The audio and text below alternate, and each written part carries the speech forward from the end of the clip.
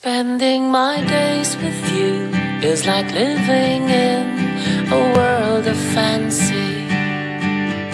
With all the beautiful people I know, making love in a